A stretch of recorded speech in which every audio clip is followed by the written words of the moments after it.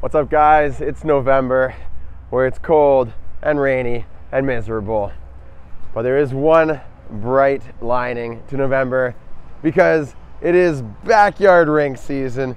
That's right, we're building a backyard rink and Mason's gonna help. Hey Mason, you gonna help build a rink? Yeah. Nice.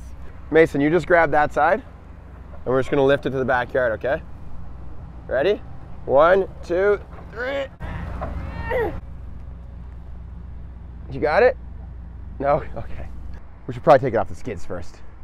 As is tradition, we open the rink with the Lang skates.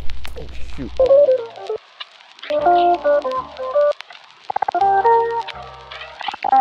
This, you gotta point it at, yeah, there you go. You gotta make sure that you can see what's going on in the screen. Ta-da! Let's see what we got. This is the new system from Iron Sleek. It's called the drop-in rink. It's supposed to be really easy to put together. They're sponsoring this video. Let's head to the backyard, set this thing up. Good job, buddy. Yeah.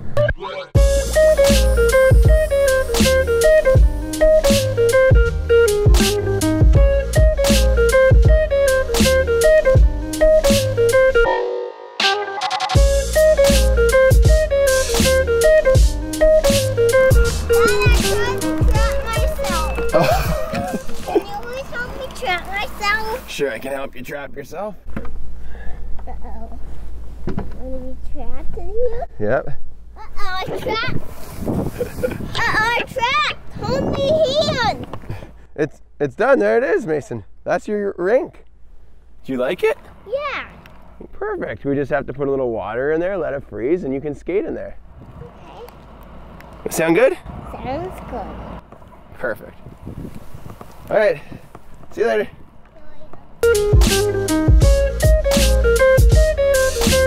That's the rink right there. It's not going to be massive for two reasons. One is this little guy, uh, pretty much for him.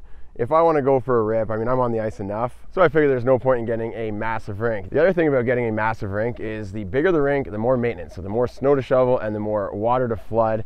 And also, last one is my yard isn't really that flat. Let me show you. It pretty much keeps on sloping down. If you get a really big rink, and you have a slope in your yard, you'll have to have really big boards. So a smaller rink is a lot easier to find a somewhat flat spot to put it. You don't have to worry too much about a massive slope over time. This one is gonna be just big enough for Mason to skate around in. Let's start putting it together. Apparently this rink is really easy to build, so we're gonna do it with uh, no video breaks, see how long it's gonna take. Mason, let's go.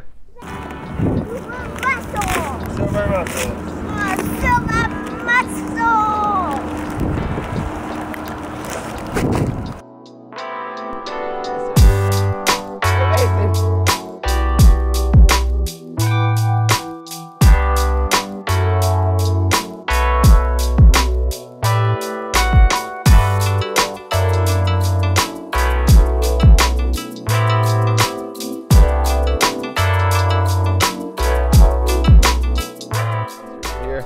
That's the other nice thing about this uh, system is that they have corner pieces.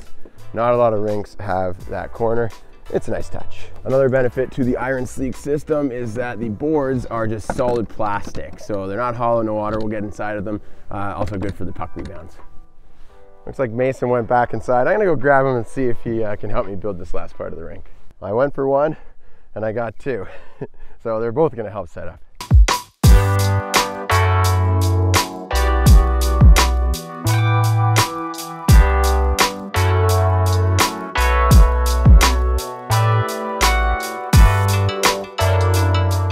Those are the boards, but we still need to put on the brackets because there's a lot of water that's gonna be in there. You wanna keep these boards from collapsing outwards, so you gotta put brackets on each of these pieces.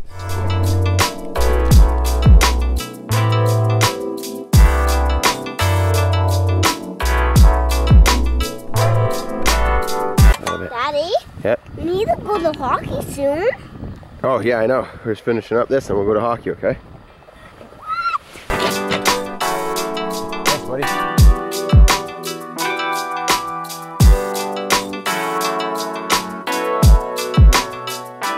Almost done. Square it up a little.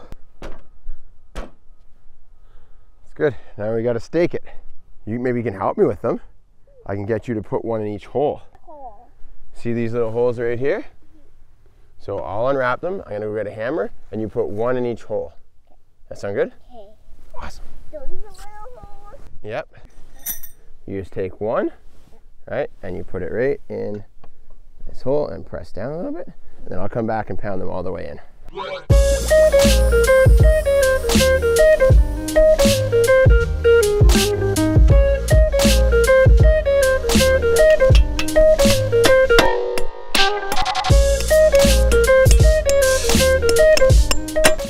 There we go. We got the boards, the brackets, and we got it staked in. That is set up. I would say on a scale of difficulty, it's certainly an improvement over the older systems.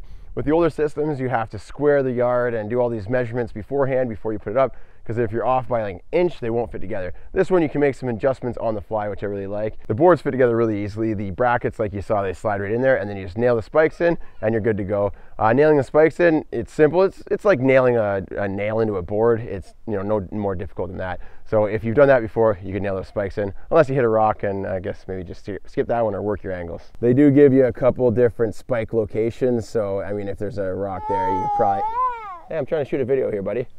you could figure it out.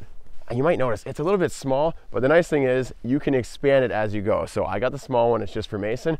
If next year I want to make it bigger, I just got to buy a few more boards, boom, it expands. The next year a little bit bigger, buy a few more boards, bigger liner, we're good. We still have two boxes left, so I'm find my half of a scissor. Let's see what's inside. Oh, I like the looks of that. This is a shovel. The problem with snow shovels is they're just too small. So they included an extra large one. It's basically just a snow pusher. It's to do a quick clear of the rink. With a rink that size, I'll do two laps and I'm gonna have that thing cleared. That is awesome. And the guys at Iron Sleek said that if you order a rink kit with my coupon code, they're gonna send you one of these for free. So check that out at the end of the video. I'll drop a link in that coupon code. And inside the other box, this is a liner. This will last you about two or three years if you're really careful with it a year if you just tear it all up. So I'm gonna leave this until a little later because it's pretty windy right now. I don't want it to blow away. I'm gonna wait until say early December, put a little water in there and then throw these things on top. That's gonna protect the liner. Then the rink will be complete. The snow and rain in December will do the rest of the fill for me. That way I don't have to just have some crazy high water bill. I'd say as far as storage goes, Iron Sleek probably would be the most compact rink. I've tried a bunch of different ones. Uh, and they have a lot of different options out there. I think their cheapest rink kit is $180. That's just if you're getting the brackets and then you can uh, build the board yourself out of uh, plywood. So if you want to get started building backyard rinks, they definitely have a lot of accessories. It's a one-stop shop. If you want to use my coupon code Coach J, you're gonna get 5% off and you get a free shovel as well. I'm gonna quickly clean up. I gotta put this stuff away until uh, early December and have that rink going. But right now I gotta get to the rink. Mason has a hockey practice. Thanks for watching the video. We'll see you in the next one. Dad, Uh-huh. doing very well. Thank you. You're doing a pretty good job yourself.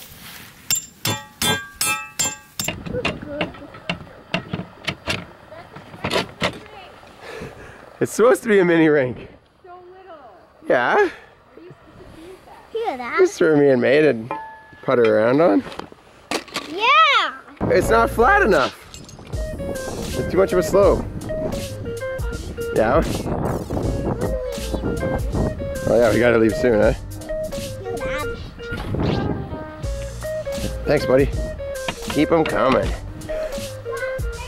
Yeah, that was fun while it lasted.